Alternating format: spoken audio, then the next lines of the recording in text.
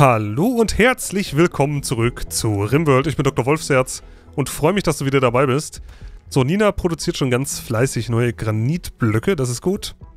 Die sind nämlich in der Tat ein bisschen knapp geworden. Und äh, ja, über den allgemeinen äh, Hygienezustand unserer Kolonie rede ich besser nicht. Der ist nämlich katastrophal immer noch. Wir müssen warten, dass unsere Kolonisten da irgendwann tätig werden. Und ja, in der letzten Folge hatten wir ja noch diese Sache hier mit dem äh, Abstürzen, mit dem eingestürzten Felsen. Hier, das sieht man, ist so ein Dach drüber. Und das kriege ich nicht weg. Ich habe schon alle Steine weggemacht. Wenn ich die wieder abbaue, dann bricht es an der Stelle gleich wieder ein. Ich habe Angst, dass wenn ich das so oft mache, irgendwann ein Kolonist drunter steht, der dann entsprechend verletzt wird. Deswegen äh, lasse ich das jetzt sein. Dadurch, dass wir aber neue Felsen haben, können wir jetzt auch Böden errichten. Wieso hat der Ben eigentlich sein Gewehr gezogen? Ach, er geht jagen, alles klar. Also dadurch, dass wir wieder neue Steine haben, wird es Zeit für Böden. Und zwar in Granitauslegung. Wir nehmen hier unsere Hexpavings Granit und knallen die mal hier drunter komplett. 456 ist die Hälfte auch schon wieder weg, ne? Egal, ich mache es hier auch. Und hier auch. Dann dürfte alles weg sein. Vor allem sind aber halt auch diese, äh, ja, diese Sandfelder weg. Die führen nämlich momentan noch dazu. Wieso liegt hier eigentlich ein Reh drin? Ach, ein Reh, äh. ein Skelett meine ich natürlich. Ein toter Steinbock, der muss weg. Ähm, das führt hier dazu, wenn die Leute hier rein und rauslaufen, dass hier auch direkt rein, rein und rausgetragen wird. Deswegen wird es da Zeit für. So, Gemeinschaftsraum. Ich weiß, da warten viele drauf. Ich habe es auch in den Kommentaren wieder gelesen. Und es gibt auch Ideen, das hier einfach noch mit zu integrieren in den Gemeinschaftsraum. Ja, hört sich alles gut an und so. Äh, ich habe irgendwie für den Gemeinschaftsraum momentan noch keinen Sinn, weil ich den Eindruck habe, dass noch genügend andere Sachen gemacht werden müssen, wie zum Beispiel die ganzen Wände. Ich würde gerne wirklich diesmal ähm, alle Wände auch ersetzen wollen, alle Holzwände, durch Granitwände. Jetzt warte ich halt erstmal, wie viel von dem Granit noch übrig bleibt, wenn die Böden hier verlegt sind. Und dann äh, gehen wir halt das nächste Thema an. Kochen läuft auf jeden Fall.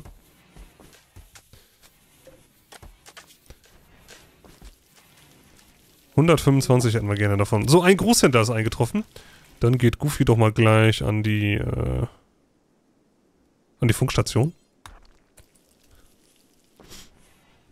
Und wir werden, wenn es geht, weitere Bauteile kaufen. Wir haben 54. Das ist noch relativ viel, aber es schadet nicht, Welt mehr zu haben. 23 sind im Angebot. Die würden uns 602 Silber kosten. Die können wir ja vielleicht reinholen, indem wir hier das Leder verkaufen. Und was verkaufen wir noch? Ähm, Reis, Mais, Kartoffeln bleibt. Mufflufleisch bleibt auch. Wir haben inzwischen vier Wildschweine, das ist gut, die behalten wir auch. Die werden wir trainieren. 229 Silber. Naja, gut. Dann müssen wir die halt mal ausgeben. Bauteile sind halt schon recht wichtig. Und ich habe keine Ahnung, wo sie diesmal gelandet sind, sonst lagen sie immer hier. Äh, ja. Mist. Da sind sie drin gelandet. Wie ärgerlich ist das denn, bitteschön?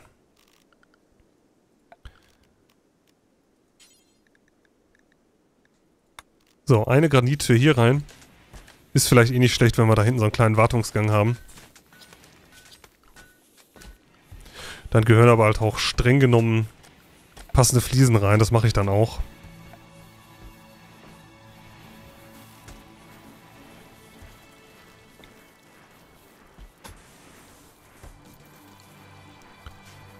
Und dann können wir unsere Bauteile da entsprechend rausholen. Sehr schön. So, minus 5 Grad. Draußen ist es 34 Grad. Dafür reicht die Klimatisierung hier noch. Drei Klimaanlagen laufen.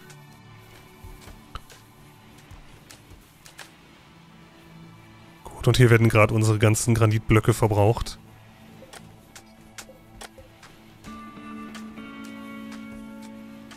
Dann müssen wir eventuell auch mal ein bisschen wieder was aus Marmor bauen. Eine Vorratskapsel. Yippie, was haben wir denn? Och, Artillerie oder Mörsergeschosse. Ist ganz klar, dass ich die reinhole. Die werden wir verkaufen. Ich nutze diese Waffen nicht. Von daher nicht so wichtig für uns. Äh, hier noch eine Tür wäre natürlich eine Variante. Allerdings ist mir das zu nah am Gefängnis. Dann müssen die nur hier zwei Türen aufbrechen und dann sind die raus. Ich meine, das müssen sie überall, aber da sind die Wege länger, da hat man dann mehr Zeit, um entsprechend einen Ausbruch zu kontern. Das geht dann nicht mehr so schnell. So, Zimmer sind ja gut besetzt alle. Hm, ich gehe nochmal bei Gerd hier gucken. Wir hatten ja einige Wände noch nicht drin. Ob die noch eifersüchtig ist, ist sie nicht. Aber sie hat ohne Tisch gegessen. Können wir keine Tische aufstellen?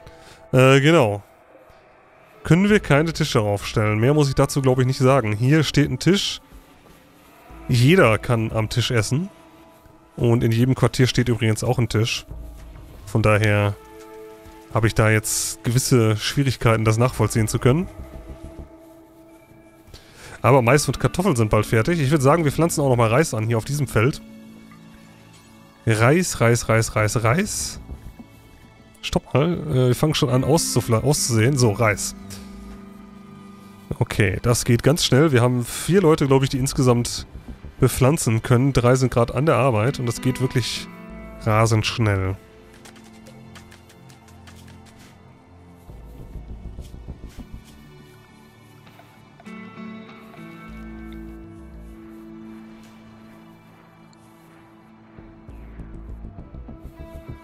Gut. So, wo wir gerade so viele Bauteile haben, würde ich sagen, stellen wir hier einfach mal ganz dekadent zwei Entwässerungspumpen hin damit wir auch da entsprechend noch so einen Kasten drumherum bauen können.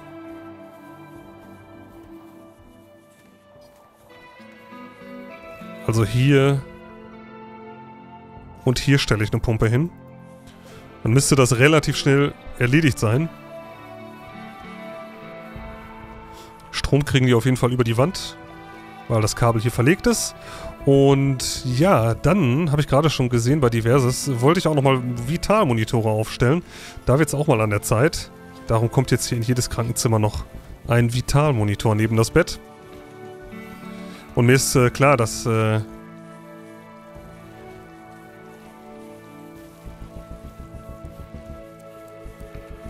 so, mir ist klar, dass hier noch kein Krankenbett steht. Das werden wir jetzt abreißen. Das ist ein gutes Bett, das deinstalliere ich mal. Kann man noch verkaufen.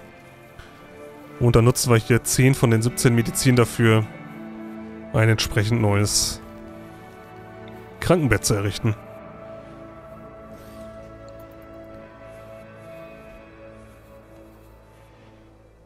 So. Hier liegt Fleisch.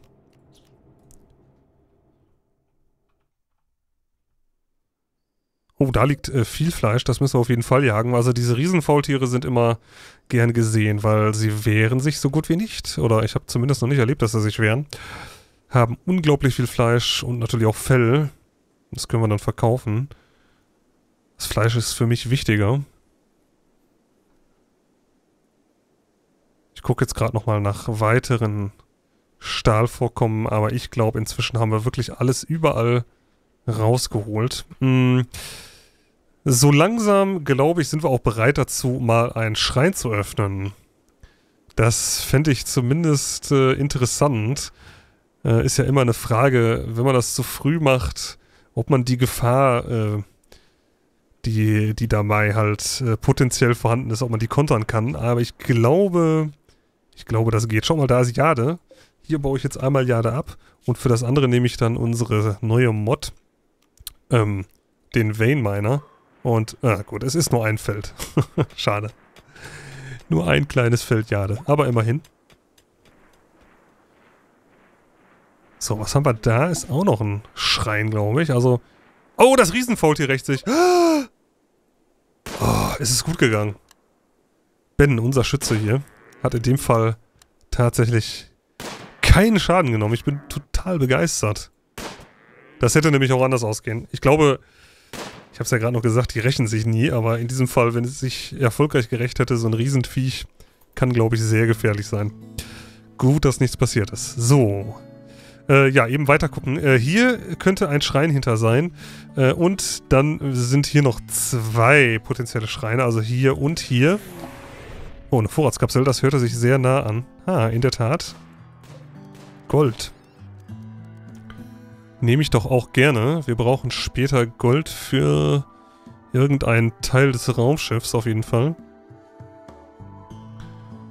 Von daher holen wir das natürlich rein. So, also ich denke mal, einen Schrein machen wir jetzt. Ist halt die Frage, welchen.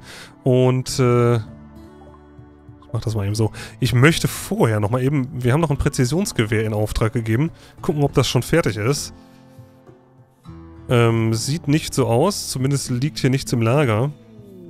Das muss aber auch nichts heißen. Gucken wir mal hier kurz am Werktisch. Ah, da, es wird gerade gebaut. Da liegt es nämlich. Präzisionsgewehr unfertig. Autor Bela, verbleibende Arbeit 856. Also es dauert sehr lange scheinbar. Da ist ein Piratenhändler, mit dem sprechen wir auch kurz. Und schauen mal, was wir verkaufen können. Äh, auf jeden Fall die Bögen. Und die, die Pila-Wurfspeere hier. Noch ein Bogen. Dieses Kragenhemd ist fast hinüber, das heißt, das kommt weg. Dann, äh, da die Mörsergeschoss, Mörsergeschosse. Die Bauteile sind hier zu teuer, das ist halt bei Piratenhändlern immer so. Das kann man äh, nicht guten Gewissens machen. Und dann kriegen wir halt mal 471 Silber, wie es aussieht. Kaufen würde ich hier jetzt nichts. Weil dafür, dass es ein Piratenhändler ist, hat er erstaunlich wenig äh, Sachen dabei. Hier so ein schlechtes Maschinengewehr, aber das sehe ich dann auch nicht ein. Nee, nee. Nehmen wir einfach das Geld. Und ich glaube, es landet jetzt immer hier, kann das sein? Ja, in dem Fall ist es Tage. Aber das ist praktisch auch, weil das ist ja hier direkt... Wisst ihr was? Dann mache ich hier. Dann mache ich doch noch eine Tür. Hier hin.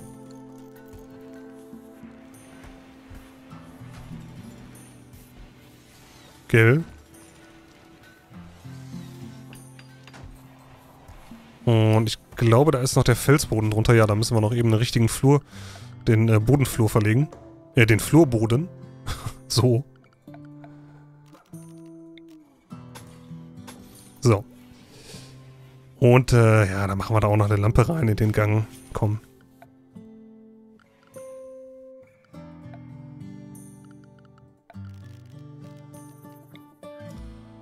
Eine kleine Lampe hier rein.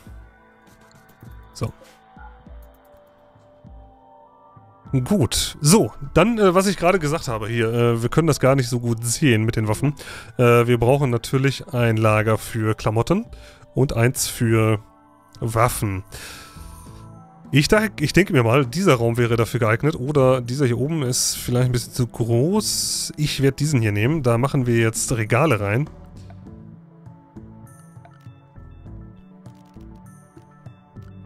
So, mal schauen, wie wir am meisten unterkriegen.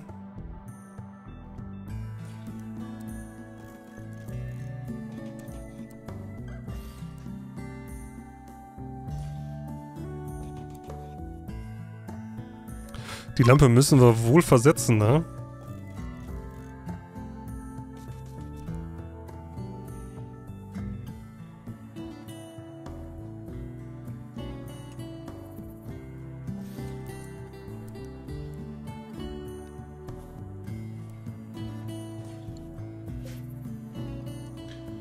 Die kommt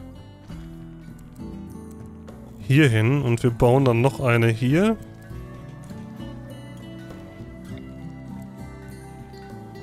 Und das ganze Zeugs hier braucht auf keinen Fall Quality Build.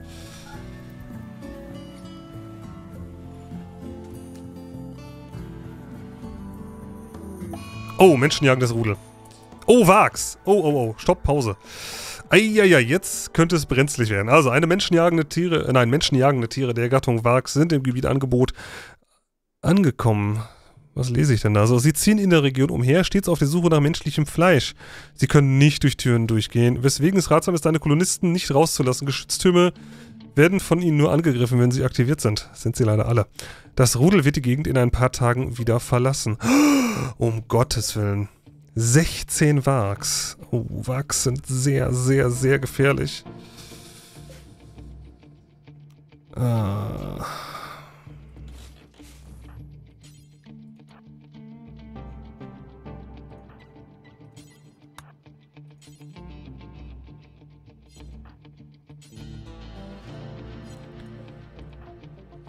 Moment mal.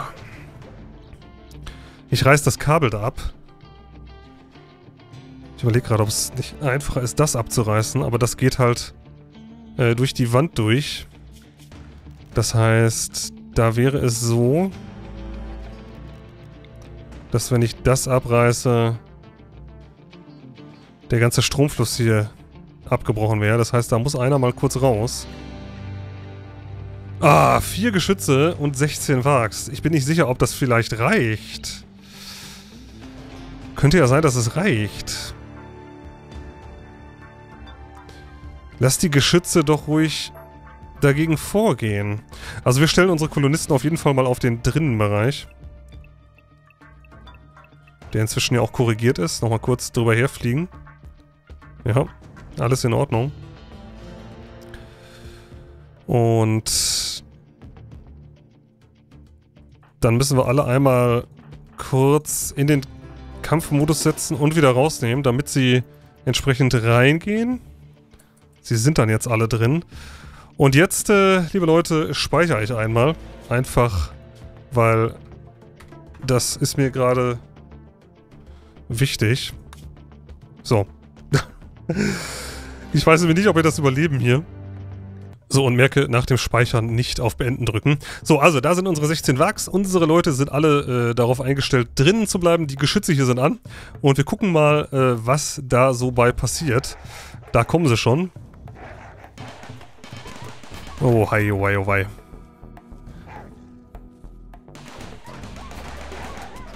Hoffentlich nehmen die Geschütze möglichst viele Wachse mit. Das sieht gut aus. Ja, sehr schön.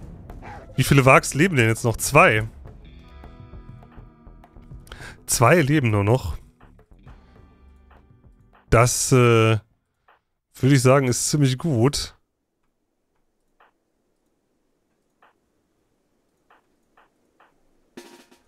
Dann kommen mal unsere Nahkämpfer her. Äh, unsere Fernkämpfer natürlich. Und dann werden wir mal hier ein bisschen aufräumen. Das sind nur noch zwei Stück, die überlebt haben. Und die jetzt abziehen zu lassen, ist irgendwie auch Blödsinn. Von daher, ich versuch's mal so. Wieder rein.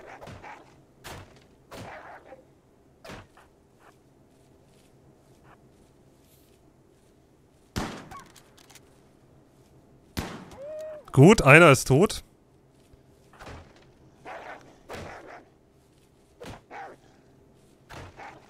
Na, kommt er durch die Tür? Nein, der kommt nicht durch die Tür.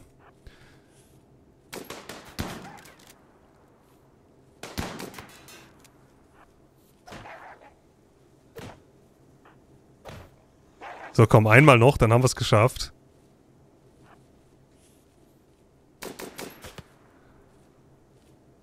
Ah, okay, das war jetzt leider daneben geschossen und dann... Ah ja, da ist er wieder. Okay, gut, wir haben es geschafft. Müssen wir noch hier die letzten Wags töten, die noch leben. Ist nur der eine hier, wenn ich das richtig sehe. Und dann haben wir es geschafft. Dann haben wir tatsächlich 16 Wags überlebt. Sehr schön. Und die können wir alle reinholen. Das ist natürlich lecker Fleisch, kostenlos. Hat ein bisschen was gekostet hier. 3, 6, 9 Bauteile. Aber das bin ich gerne bereit dafür auszugeben. Hätte nicht gedacht, dass wir die so gut platt bekommen. Die Geschütze werden neu aufgestellt. Das macht ja hier unsere Mod. Und die Energiewaffenforschung ist fertig. Dann machen wir jetzt mal die Energierüstung. Die können wir dann ja eventuell unseren Nahkämpfern zur Verfügung stellen. Jetzt wird hier erstmal repariert und aufgeräumt, neue Geschütze hingestellt. Hier sind sogar noch Bauteile liegen geblieben, das heißt, wir haben nicht ganz so viel verloren. Wunderbar. Und es ist wieder sauber. Hier, die, die ganze Verschmutzung ist weg. Das ist ja schon mal sehr schön. Oh, und hier... Ah, Mist. Das wollte ich eigentlich gar nicht. Jetzt sind die Regale schon fertig. Das ist jetzt einfach mal flugs gemacht worden. Ähm... Ist irgendwie doof jetzt, ne?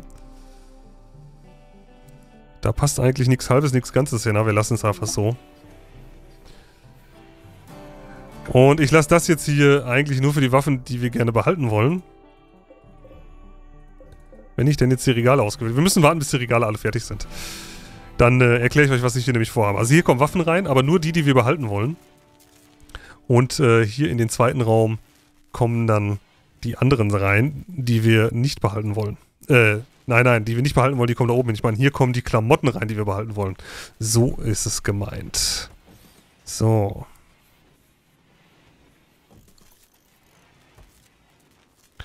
Gut. Jetzt haben wir relativ viel kaputt. Also erstmal ist gerade eine Sonnenfinsternis, dann haben wir eine Hitzewelle und auch noch ein Kühlschrank kaputt. Hitzewelle heißt 43 Grad. Da gucken wir mal kurz über unsere Kühlung. 0 Grad, 1 Grad. Das ist in Ordnung. Weil das ist dann zwar nicht mehr tiefgefroren, aber es ist gekühlt. Das heißt, es verdirbt nicht in einem Tag, sondern, naja. Ach, das könnte besser sein, ganz klar. Überlege ich gerade, ob ich noch eine Klimaanlage hier reinsetze. Mache ich auch.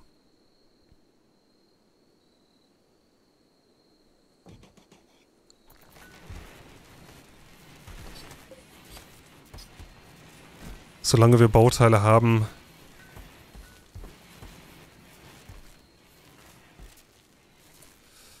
Wir müssen die Batterien aktivieren.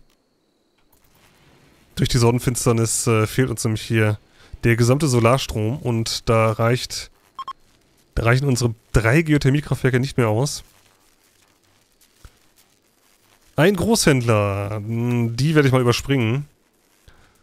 So, okay, jetzt ist fertig hier. Also, jetzt erkläre ich kurz, was ich vorhabe. Hier kommen Waffen rein, aber nur die, die wir behalten wollen. Das heißt, ich stelle hier ein, das heißt, ich stelle ein Regal ein, so, ähm, Lager und nur Waffen. Das passt auf jeden Fall schon mal. Waffen, Waffen, keine Kleidung. Und nur mit mindestens 60% Hitpoints. Und nur die mindestens normal sind. Na komm, wir gehen mal runter hier. Wir gehen mal hier auf... Auf... Äh, ich gehe mal auf 40%. Also alles, was 40 bis 100% Trefferpunkte hat und von normal bis legendär ist. Das soll hier rein. Die Einstellung kopiere ich jetzt und die werden wir auf alle Regale anwenden. Kurz kontrollieren, ob das hier angekommen ist. Jawohl, gut. Das heißt, hier, die Waffen werden wahrscheinlich gleich alle wieder aussortiert werden. Ähm, und dann, das heißt nämlich, dass wir alle Waffen, die im Lager sind, verkaufen können, weil hier die guten, die wir behalten wollen, drin liegen. Und die schlechten hier gleich wieder rauskommen. Also das hier ist schlecht, das kommt zum Beispiel auf jeden Fall raus, kann ich jetzt schon sagen. Die bleiben wohl drin, der Knüppel auch. Naja, aber die sind nicht so gut. Ich denke, ich gehe bei der Qualität nochmal auf 50 rauf, also auf 50 Trefferpunkte mindestens. Einstellung kopieren. Einfügen. Okay, so. Dann kommt dieses Lager hier weg. Das ist ja unser Heulager. Ähm, muss ich jetzt erstmal kopieren und löschen. Und dann kommt das Heu hier oben rein. Neue Lagerzone.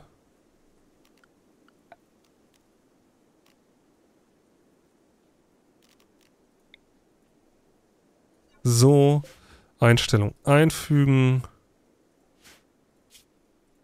Das ist das äh,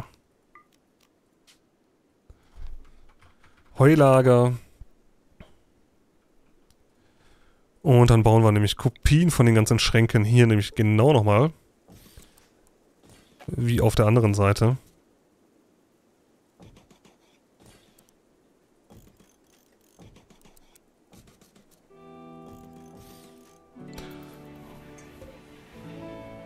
Und das wird dann halt eben für, genau, für Klamotten.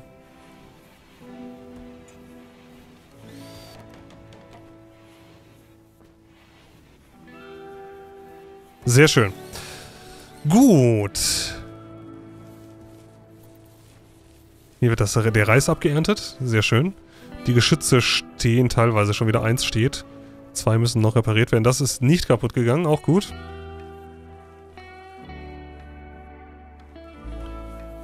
Ja, so, wir müssen diese Klimaanlage, die fertig ist, jetzt runterstellen, weil sonst arbeitet die gegen die anderen entgegen.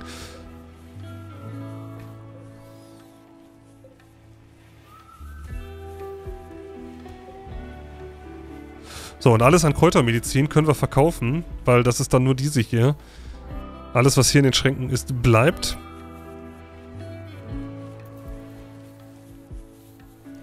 Wie sieht's hier aus? Okay, das dauert jetzt halt noch eine Weile, bis sich die Radien hier erweitern. Nämlich in sechs Tagen ungefähr. Ist die Tür kaputt. Gut, das soll es dann für diese Folge auch gewesen sein. Vielen Dank fürs Zuschauen. Wir haben 16 Wachs überlebt. Da bin ich ja ein bisschen stolz drauf, auch wenn es drei Geschütze gekostet hat. Aber das ist meines Erachtens ein kleiner Preis dafür. Wenn man bedenkt, wie gefährlich diese Viecher eigentlich sind. Und, ähm...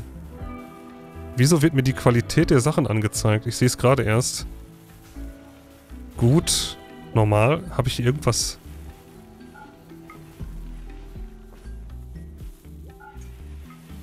Irgendwas habe ich eingeschaltet.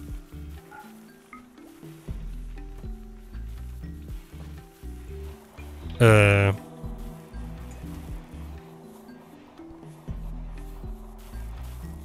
Okay, nee, es betrifft auch hier nur komischerweise nur die neuen Schränke.